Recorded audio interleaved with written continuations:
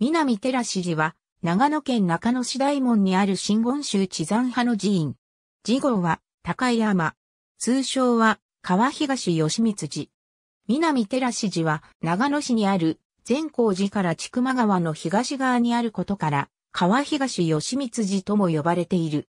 種目作りと呼ばれるの形の本堂、三尊形式の本尊など、善光寺と共通の特徴を持ち、道内には善光寺会記者の本田善光一家の像も安置されている。本尊の近藤性、阿弥陀三尊像は、阿弥陀如来と脇地の観音菩薩、聖子菩薩からなり、大和時代に渡来した三国伝来の秘仏と伝えられている。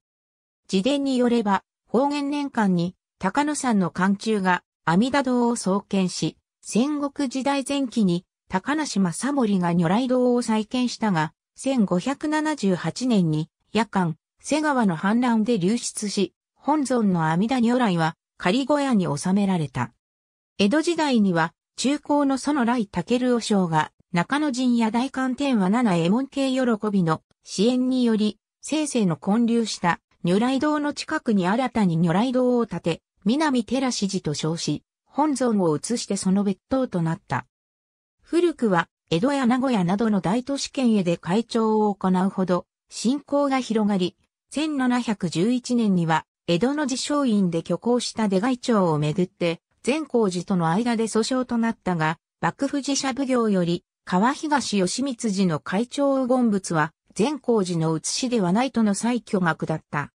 1814年3月11日には、小林一茶も善光寺仏外町に立ち会い、日記にそのことを記している。1688年には、板倉海森重館が、急走の石塔を寄進した。現在の本堂は1814年に再建に再建された。時報には、元禄年観作の北斗曼荼羅図などがある。ありがとうございます。